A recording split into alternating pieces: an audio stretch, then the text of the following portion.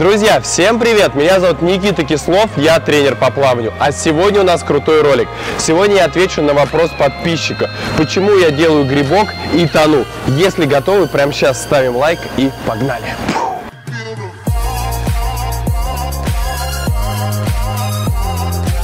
Я регулярно читаю ваши комментарии под видео, и я заметил один из самых часто задаваемых вопросов. Никита, я плыву, делаю грибок, ухожу под воду, глотаю воду и сбиваюсь. И я, как понял, это ошибка у многих. Ребят, сегодня я расскажу, как ее исправить прям пошагово. Итак, что же это за ошибка и как она выглядит со стороны? Ребят, вот сейчас на видео я плыву неправильно, мои руки очень часто работают, нету толчка вперед, нету скольжения, и я постоянно прыгаю вверх-вниз. Почему возникает эта ошибка? Вот смотрите, когда мы сделали грибок и хотим сделать вдох, мы начинаем делать вдох и немножко тонем. Машинально, чтобы не уйти под воду, мы начинаем делать грибок и вот здесь ловить опору.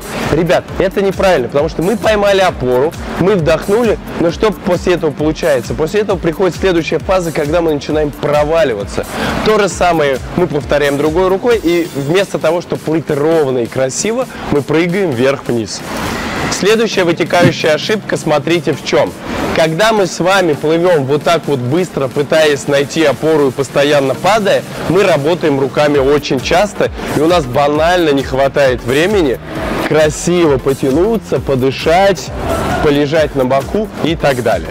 Когда мы начинаем чистить, получается, что нашим рукам нет времени отдохнуть, и мы быстро устаем.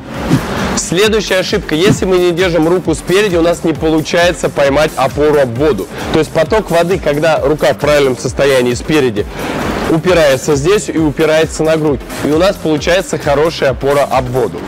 Если же мы сразу делаем грибок, нам просто не за зацепиться.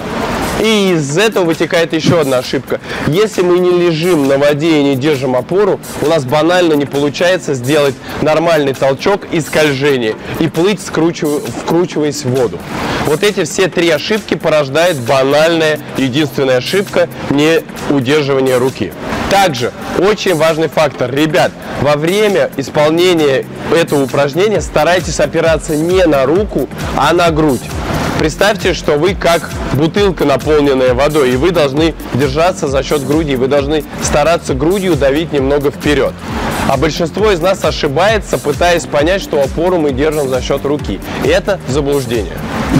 Друзья, чтобы исправить эту ошибку, надо помнить одно важное правило. Старайтесь держать руку спереди как можно дольше. И старайтесь опираться не на руку, а на грудь. Сейчас я покажу вам два упражнения для того, чтобы исправить эту ошибку. Первое это будет в воде, вторая будет на суше. Это упражнение называется скрутка. Принцип ее довольно прост. Одна рука тянется вперед, вторая вдоль туловища. Ребят, мы плывем, и когда хотим сделать вдох, поворачиваемся просто на бок. Мы не работаем руками, мы стараемся поворачиваться за счет положения корпуса. Также старайтесь давить грудью вперед и ловить опору именно грудью. Постарайтесь почувствовать, что ваша рука максимально расслаблена, и вы не держитесь на воде за счет нее, а держитесь именно за счет груди. Я рекомендую выполнять это упражнение 25 метров в одну сторону, 25 метров в другую, ну, метров 100-200 его обязательно нужно отрабатывать до того момента, пока вы не почувствуете, что вы не за счет руки держитесь на воде, а именно за счет опоры верхней части груди. Второе упражнение выполняется на суше. Нам необходимо встать вот в такую позу, расслабиться и одну руку вытянуть вперед. Продержите руку спереди 30 или 60 секунд, далее поменяйте руки. Я рекомендую чередовать руки около 2-3 раз. Ребят, если вы чувствуете, что вам легко, можно взять в руку мини-груз или банально тоненькую книжку. Для чего нужно это упражнение? Это упражнение даст запоминание нашим мышцам, где должна находиться рука. Возможно, что держать руку спереди вам не позволяет ваша гибкость. В этом случае я рекомендую мой авторский видеокурс по растяжке, состоящий из 12 уроков, где мы пробиваем руки, ноги и общую растяжку пловца для того, чтобы мышцы были более эластичными. Ссылка на этот курс будет в первом комментарии. Ну и, конечно, мы продолжаем рубрику «Вопрос-ответ». Пишите ваши вопросы на тему плавания, описывайте вашу проблему, и на самые интересные вопросы я сделаю обзоры. Ну а на этом все. Это был Никита Кислов, школа плавания Swim Rocket. Всем пока-пока.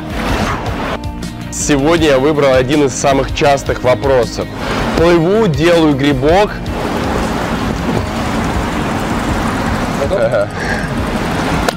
Простыми словами, задыха...